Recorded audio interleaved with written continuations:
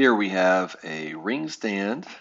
We have a ceramic triangle with a ring on it, a Tirrill burner, piece of magnesium, a lighter, a crucible with a lid, and some tongs, and an electronic scale or a balance.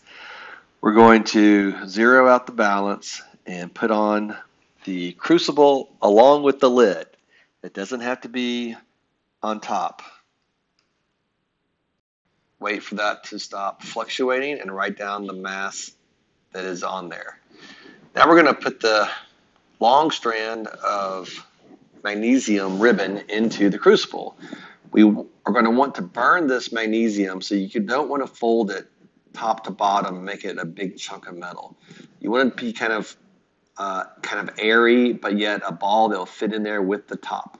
So you have to go around with it like that. If you pinch the edges, it actually will break, which is fine. You're throwing it all in there and you're going to burn.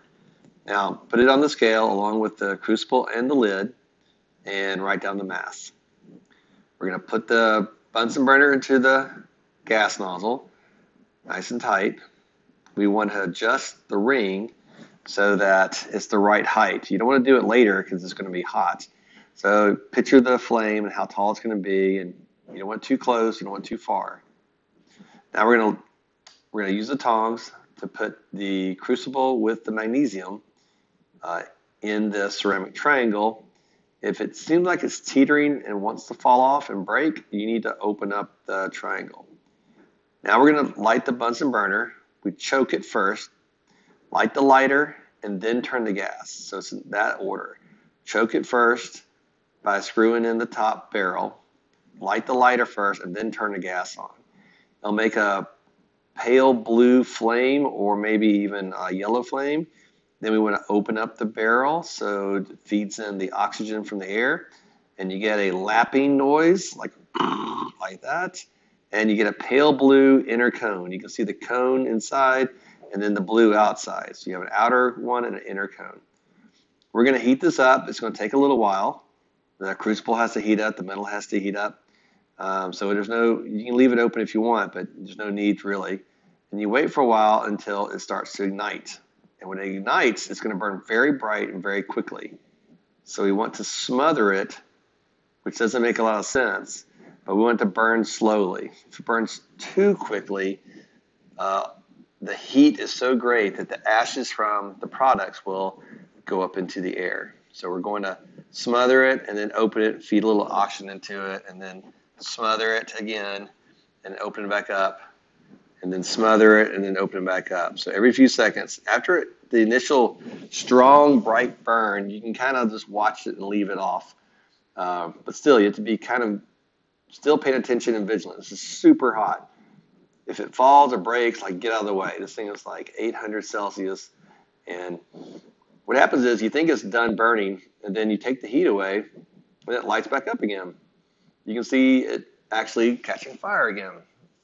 Smother it up, put some more heat to it, burn the oxygen inside, open it back up again, and you want to keep doing this until it stops burning. People always ask me, when does it stop burning? Does it stop burning? It's not going to stop burning.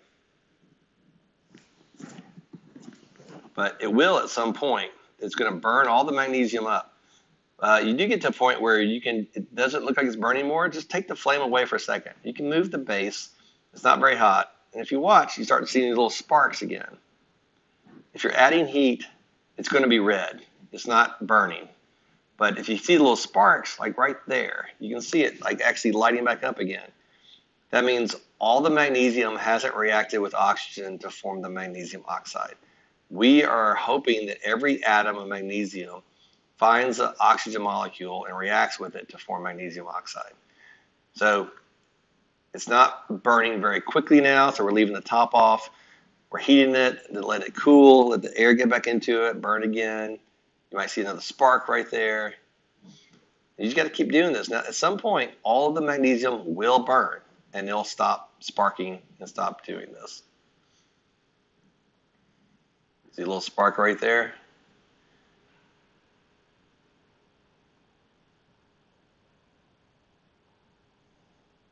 At some point, it'll stay red and it won't be sparking anymore, and it's done.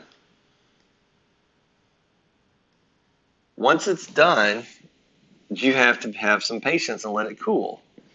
Uh, a pet peeve of mine is when people put hot items on a scale. It needs to be room temperature. And these things are very small, so even if they're very hot in temperature, they don't necessarily emit a lot of heat. So once we have it done, you're going to close the gas nozzle to one side, let it sit there, and you just have to be patient. You can put the back of your hand up against it, see if you can feel it.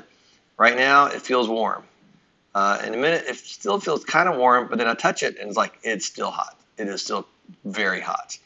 Uh, touching is kind of bad form, but really, people think it's not uh, not hot anymore. But if you actually grab it, it'll burn you. So it needs to be nice and like close to room temperature. We're going to weigh it again. Again, zero the scale out. Use the same scale. Make sure you measure it with the crucible lid as well, and write down the number.